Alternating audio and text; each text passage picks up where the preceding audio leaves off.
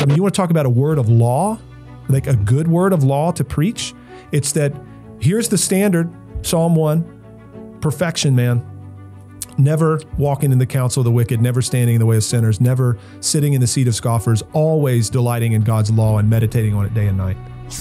There's that's what's required of you. And the reality is, as fallen human beings, we've rebelled against God. But here's what you should do. Understand God's holiness and go understand God's standard that you haven't met it, and understand that because of that, God's judgment is coming. Mm-hmm. And you have you've committed cosmic treason. Mm-hmm. And in light of your treachery, you will face condemnation. So here's what you even, need even, to do. even if, even if, with all your strength, you have tried Yeah. to become the best, the blessed man. yeah. If you did not do it perfectly, you are still in Exactly. against God. Even if you've tried your best. That's right. And so here's the be- the best part of this whole thing. The last line. So the last good. line. So kiss the Bring son. it. So this is verse 12. Kiss the son, lest he be angry and you perish in the way, for his wrath is quickly kindled. And then this blessed are all who take refuge in him. Come Now- on. Can we stop So- and have an applause? So here's the deal. How does remember all of a unit, so Psalm good. 1 and 2. How does Psalm 1 begin? Blessed is the man. How does it end? Blessed are Blessed all is- that's who right. take refuge in him.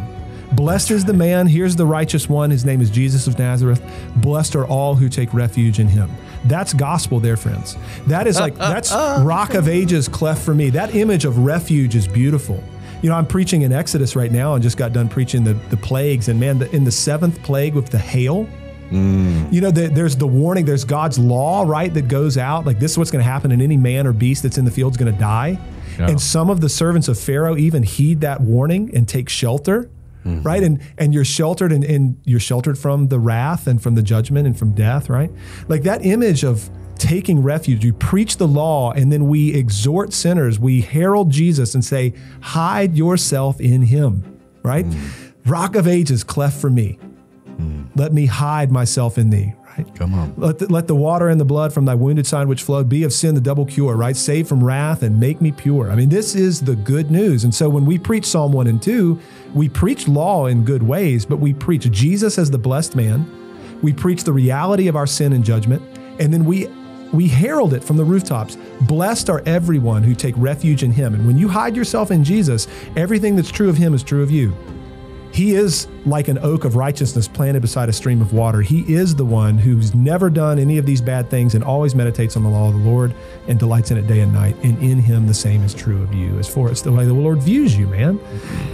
That is the doorkeeper of the Psalms, and we should preach it that way rather than rather than hey, here's righteousness, here's wickedness, choose righteousness. That's that's not Justin, point. it's the it's such a beautiful example of what real law gospel looks like. Mm-hmm.